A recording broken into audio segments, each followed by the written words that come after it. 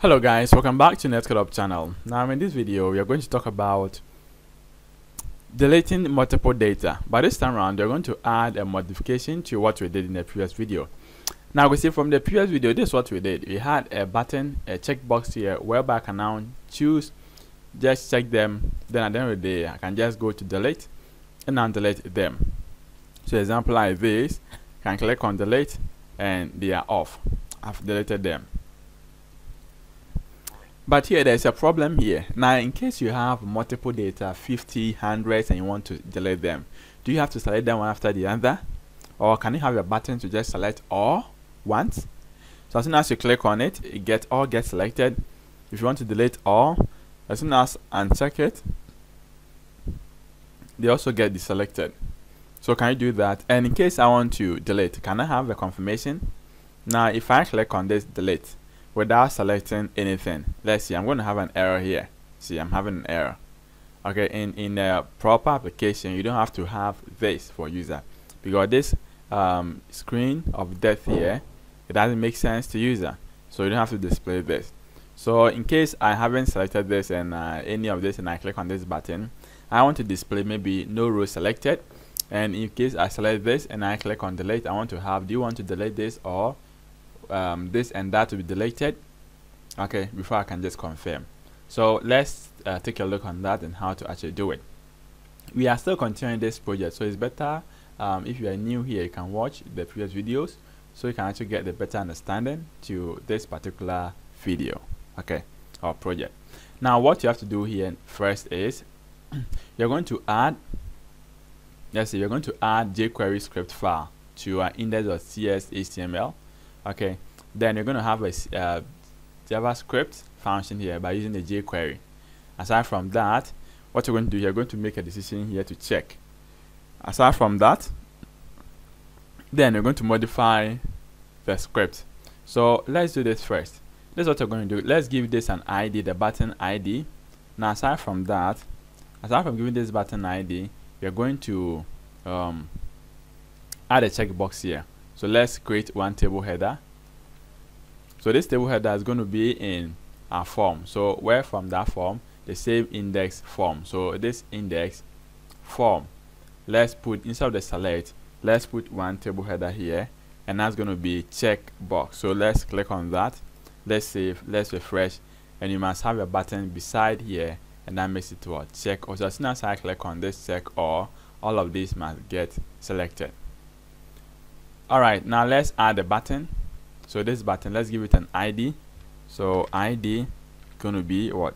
So select or delete btn so delete button. All right so once we have this what is the next thing to do? Let's refer uh, let's refer uh, the jquery to application. So in that in the hex section here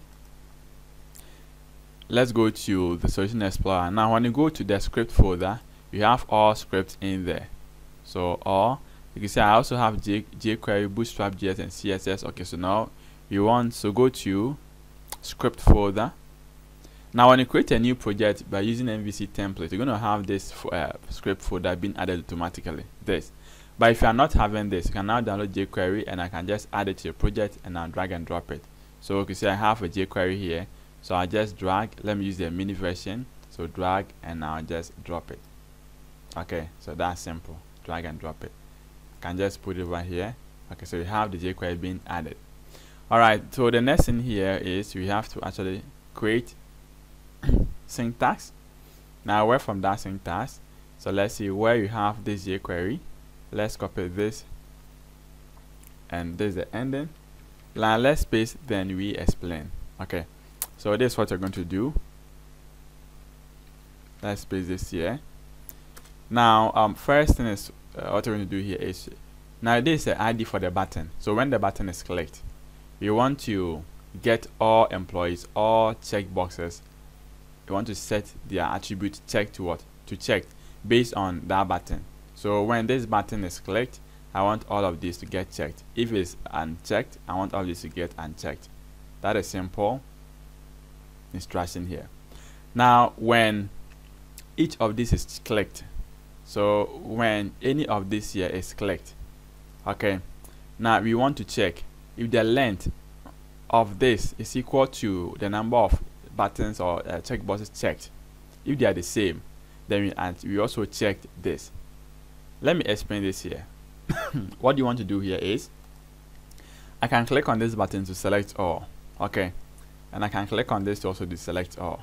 But as soon as I get all this clicked checked if it has left the last one to be checked fully this should supposed to be also what checked. So if you have extra like so like uh, this that this that that. If this is the last one as soon as I click on this this must also get checked because I've selected all. Now as soon as I click any of this like this if they selected it should not be selected because not all are selected. That's what this code is trying to do. So you can see that if all this is the length so all this. Now where from this? Employees id to delete. That is the name. That is the name for the checkbox. So when you go to the employee CSHTML you see we have the name here as employee id to delete. And that's what you are using. The reason why we didn't use the id here is now when you call in the id it's going to just utilize only the first checkbox. We want to call all of the checkboxes. So that's why I have to use the name. So I hope this is simple. Okay so uh, we have that checked now um, or else we remove it. So if any of them is unchecked you want to uncheck the select all two. That's the first button here. You want to uncheck. So if I have like this this must be checked. If I click this it shouldn't be and it shouldn't be supposed to be checked. Okay so unchecked okay so aside from that then we go to the button. So when the button is clicked we are going to count all the text boxes or check boxes which are checked. So checked we count them and store them here. Now we check if count is equal to zero then we tell you that no rows are selected for deletion. Now um, then we're going to return false. Now this false here it is saying that this will prevent the form to be sub submitted to the server. That's simple. And or else we return confirm count rows will be deleted. So you want to confirm this and that's the way to return confirm. Okay. So here you're just showing an alert message but it's going to have a confirm. This is going to have a two buttons okay and cancel. But it's going to have only okay button. So that's the only difference that you actually want to make or you have to do. So let's save our project. Now let's build this now let's refresh our page and see. So let's refresh this. As soon as I select all let's what's going to happen here. So I'm going to select all. Now to left is only one and it gets checked. It ticked off and it is off. So it is working now. Now let's talk about if I want to delete it. So you have select. Alright so it's supposed to it's supposed to be you have select no suppose select this. Must be off because the name has now shifted. So now let's correct that. So with the the employee.ts you see we have this here name gender and we have this button check button. So in our index it is better we take off this header here that is select. Or we can even bring it here as select. Now let's save this and now let's refresh. Okay now you have it here. So you can actually pass into select all as well. Now if I click on if I choose this three and I click on delete it asks you three rows will be deleted. Do you want to do that? Okay. Now it is off. But if I choose this and I click delete if I go to cancel it is still going to be there.